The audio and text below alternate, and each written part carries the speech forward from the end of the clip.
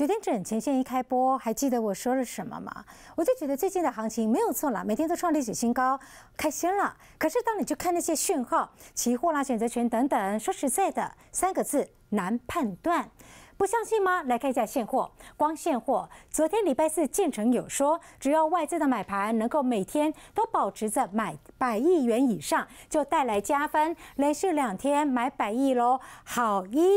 好二，你看，期限选加总起来的金额，期货还在做空了，可抵不过这两个，这两天的金额呢，加总起来是正的。这个这是期限选的金额喽，良好。但坏的来了，Poco ratio 值创历史新高。为什么 Poco ratio 值选择权哦，Poco ratio 值竟然是往下掉的？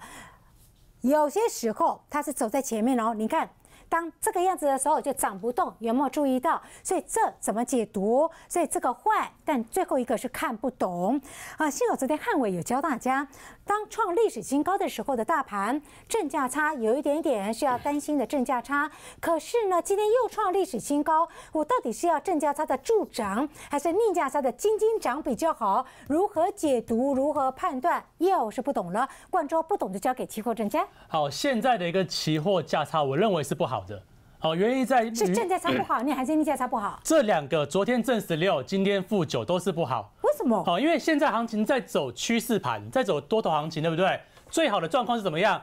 能够维持在二三十点或三四十点的正价差，代表说期货是领先现货，对不对？价格一路往上拉。可是现在状况是什么东西？现在状况是外资呢 一路在买股票，买全资股，对不对？嗯。可是为什么现期货？一路在空期货，好，外资钱进来买股票，期货去做避险，这都是为了新台币的升值，好，所以这边你要注意到哦，万一哪一天新台币不再那么强的时候，外资现货的买超可能会由买转卖。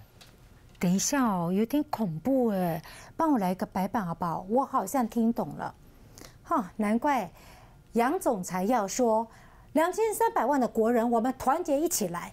国人团结一起来，来对抗可恶的外资。如果照冠州口中的外资钱进来，台币涌进二十几亿美元呢？这几天都是这样，十几二十几亿美元哦。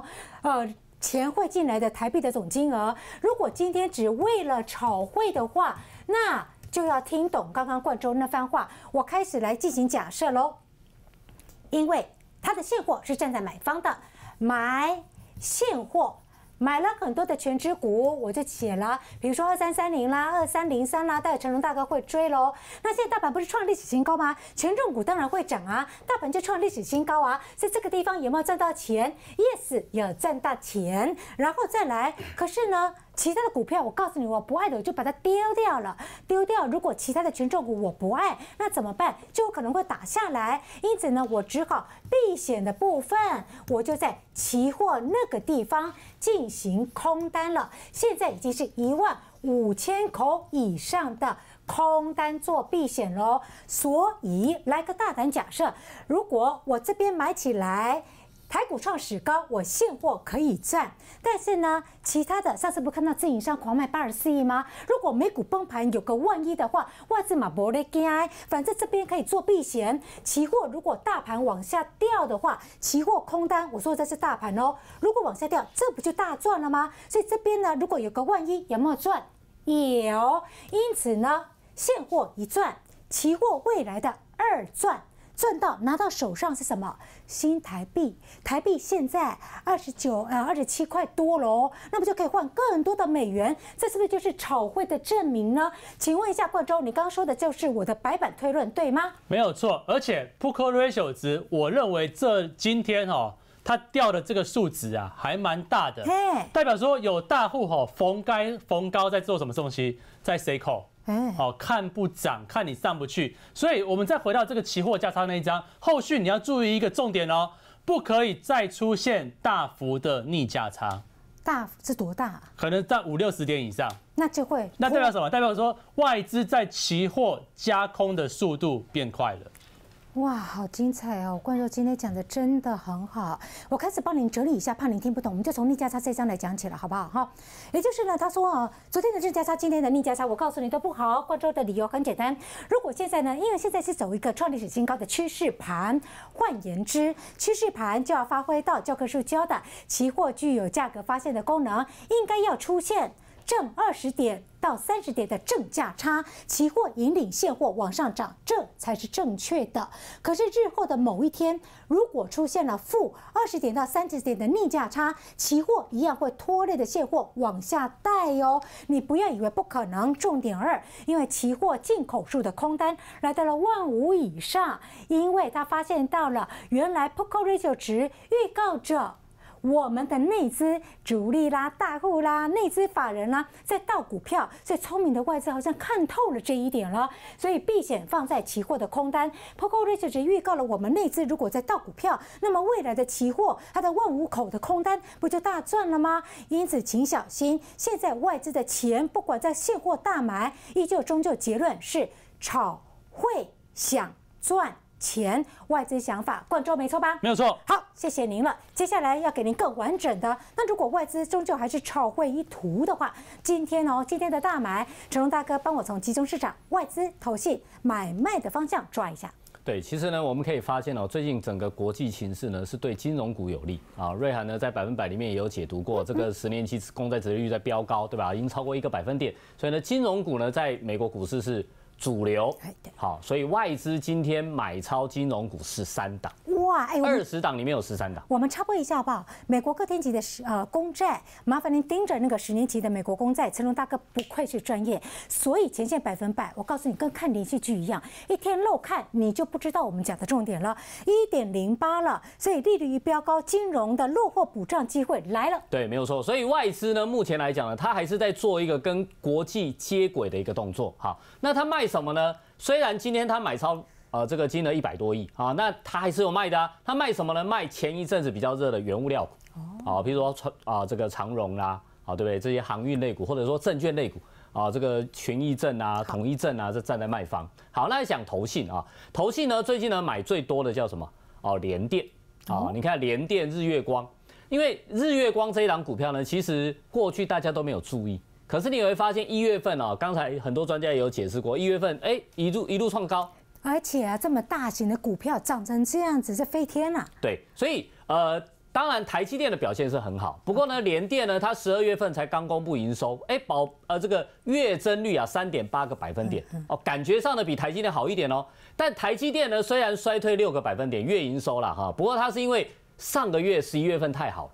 好，所以它十二月份稍微掉一点，但是呢，公司派也是说，哎，这个都符合预期。跟大家报告哦，你看一下，刚成龙大哥就在带这个，投信跟外资都买了二三零三的联电，都买联电。前二十名当中看不到二三三零的台积电，但台积电的数字出来了。麻烦成龙大哥帮我检查一下，台积电的营收漂亮，去年第四季跟全年都创新高，您怎么解读呢？对。因为它的月营收稍微往下掉，所以呢，大家会说哦，那这样是不是不太好？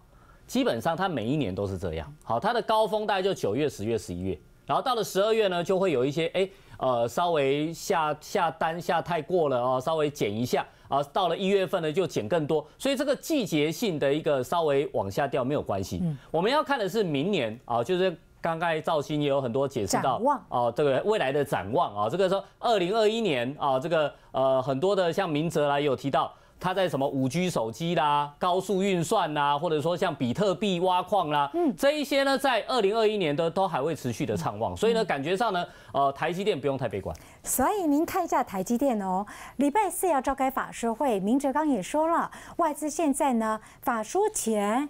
这是史上罕见的，台积电法说前，以前外资都几问几问啊，唱衰啦，到最后人家说的很好啊，就跌破外资眼镜。既然今年哦，外资调高它的目标价，台积电六百五营收上看哦，那我们就盯着礼拜四的法说。成龙大哥，请上来。接下来的大盘，大盘。半框看周 K，这个礼拜大涨了七百三十一点，我总感觉这个周 K 待会教一下了，好，很不一样哎，你看上个礼拜跟这个礼拜都一样，开在最低点，收在当周几乎最高点，本周是真的最高哦，上个礼拜还差一丁点，实体红棒叫做漂亮啊，MACD 指标还在长大哦，所以史高频频创吗？今天的量这样子，不知道您呃觉得会不会太大，还是可接受呢？两个礼拜前，谢谢成龙大哥，他就暗示了，二零二一的元月份会重新再来雄风再起，感恩您了。回到刚刚的半框，周 K 打几分？请说。好，我觉这个周 K 一百分，一百。一百分昨天口大哥大盘五十九分，好来继续。啊，当然专各个专家不同专家不同点我最喜欢这样我我我会把观点讲清楚。好好为什么我当时讲说十二月啊，你多看少做？因为十二月份所动的股票不是重要的股票，好动船产股。半年前你会想做航运股吗？不会啊。对啊，你会想做吗？可是十二月份好像你不做不对哦。啊，对啊，那个阳明都飙高。对啊，还有什么纺织股啊、蜘蛛人啊，对不对？很多股票你都会觉得说，这些股票明明我半年前都不想做嗯啊，啊，怎么搞到十二月份好像非做它不可？我跟你讲，去年的十二月份哦，台股就在演卡通片呐、对啊航海王啦，蜘蛛人啦。对。啊，那大家不是最爱的是护国神山吗？哦，可是护国神山在十二月份都休息啊。台积电休息啦，来，我们设一下二三三零给大家看，去年的十二月份，十二月份哦，来这个地方哪有动到啊？对啊，对啊，联发科也是嘛，二四五四来对对对，所以护国神山都变成不删了呀。对啊，啊所以我们要讲的意思就是说，所谓的元月份重新来，讲的就是什么主流的电子股。赞，主流电子股真的啊，在元月份才开始动啊。嗯好，所以你会发现很多的股票，那动起来以后呢，大家又发现，哎呀，我之前买了太多的 船产啦，哈，现在呢，该到底要不要卖啦？航运股怎么样的？然后呢，眼睛又看到那个主流半导体护国神山一直涨，啊，到底怎么办？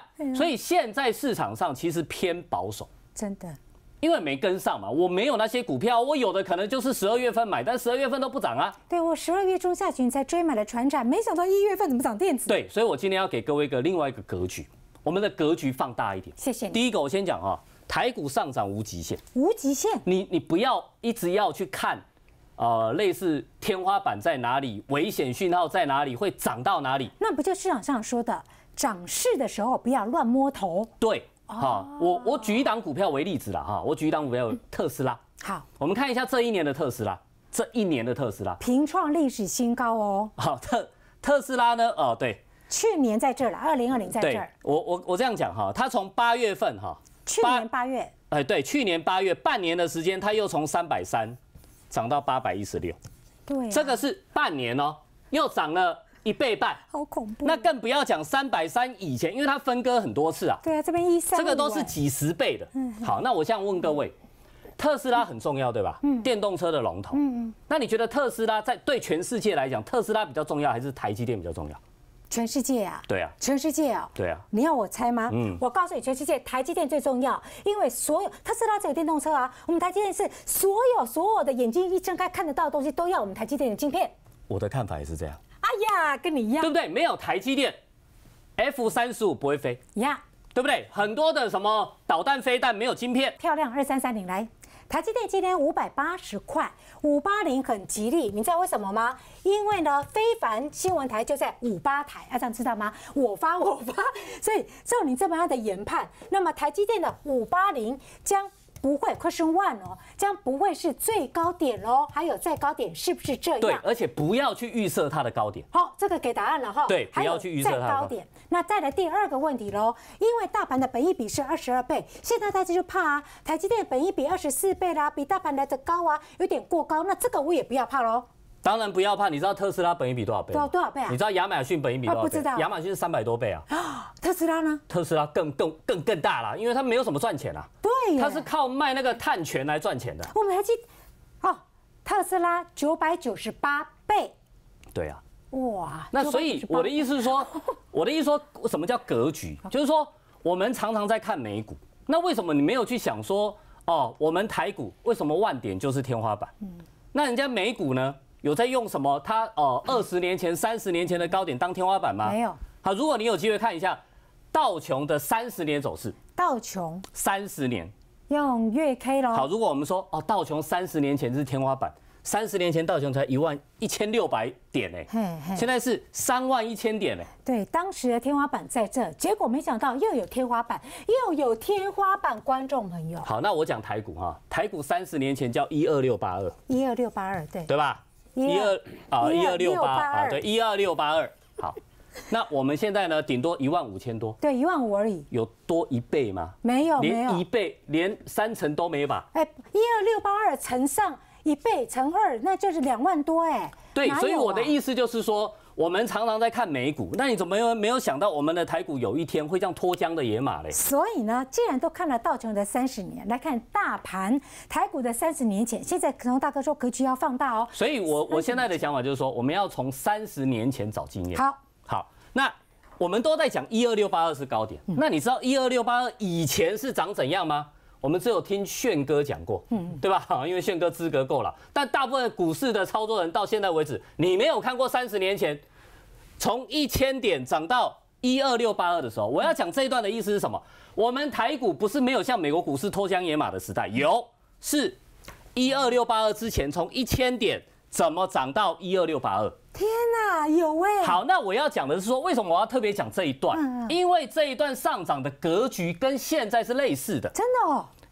当时的新台币从固定汇率一比四十升到一比二十四点多，嘿嘿嘿嘿，对不对？对对对对，好，那当时还没有外资吧？还没有啊。就只有我们台湾人吧？对对对我们的最大成交量还可以最高到两千亿。我跟您报告，那个时候还在超黑板的时代呢。好，，那这个呢，我我这样讲哈，一千点就先涨到四千点，嘿，直接先涨四倍，四千，四千下来呢变两千。我讲的是大概数字，百位数我都去掉。好，两千呢又到八千，哦这样又四倍，对不对？这样四倍，这样四倍，哎呦，对吧？对，再下来呢就大概呃这个四千多，啊，然后后来到一二六八二，这里又三倍，哎，对耶，你看。是不是？一千四千四倍，四倍，三倍嘛。三倍，然后后来才挂掉嘛。所以台股曾经倍王倍数过耶，对啊，那我们现在一二六八二的一倍是多少？两万五千两多吧，万多啊，两万五啊，对啊，可是我现在跟你讲说台股会涨到两万五，你会说我是疯子，我不相信了。对不对？所以我的意思说，怎么会变成这样呢 为什么我们台北股市不能来涨个五成或一倍呢？啊哈，我们明明有这样子的条件，我们现在的新台币不是也是一直升值吗？全世界靠我们台积电，全世界不是靠美国的特斯拉呀？对，而且大最重要的是，三十年前我们只有涨一个什么金融股加资产股，对，金融股也是资产概念。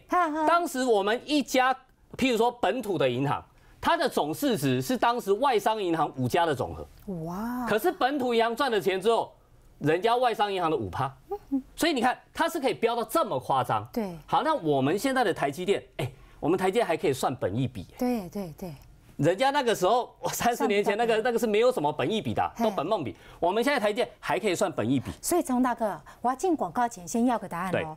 你看哦，因为我要让陈宏大哥的复制继续延烧到二零二一的今年，当时台币呢从固定汇率四十块到二十四块，现在呢，啊这个不要轻哦，帮我秀下台币的月 K 好吗？台币呢现在是当时没有外资，三十年前没有外资，现在台股哦有外资三十五，来回到刚刚那边哦，现在的复制是不是从台币外资热钱来了，三十五升到二十七的这样个复制，所以钱来就有办法倍数涨，对呀、没错哈、为什么央行要信心喊话？因为它就是护到没有没有什么力气啦。应该是说要国人团结。对对对，所以你你觉得央行杨总裁今天的这番话别有弦外之音，对不对？对没错好，来，先请回座。不好意思啊，因为今天崇大哥呃空了一个礼拜，一月一号特别放假嘛，他没有来，所以我觉得有必要让他把大盘他打一百分哎，我不用让一百分的人把它讲清楚吗？